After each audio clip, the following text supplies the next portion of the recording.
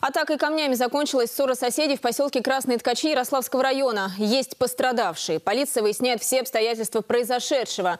Обе стороны конфликта выслушала Зоя Рыжкова.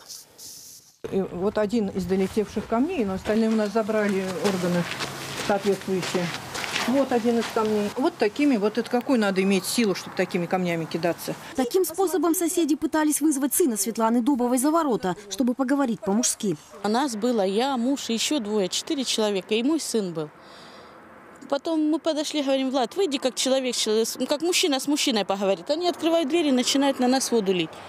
Мы начали тогда по забору барабанить обязательно. А как же? Забор атаку камнями выдержал, но один из булыжников попал в голову Ирины Золотаревой. А начался конфликт с просьбой сделать музыку потише.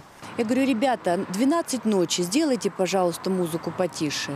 В ответ на это человек 10-15 цыган, и маленьких, и взрослых. Они принимались стучать все вместе камнями, пытаясь ворваться и вызывая нас наружу. Цыгане разного роста, даже видно, это очевидно, где били дети, где били взрослые.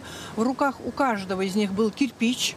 Соседка утверждает, что в тот день они слушали музыку, но не громко. Праздновали день рождения ее сына. И он у меня болеет, то есть у него белый билет. То есть ему не отметить день рождения, то есть не получается. Он у меня нервный, неадекватный. Нас милиция приезжала и снимала, что мы образцовая семья. Среди всех цыган мы самая образцовая семья. Мы здесь жили, нас никогда никто, ни один сосед нам слова тю не сказал. И мы никому никогда не, не приставали. Соседи не скрывают, что в последнее время найти общий язык не получается. И сейчас в конфликте разбирается полиция. Проводится проверка, по результатам которой будет принято э, объективное э, процессуальное решение.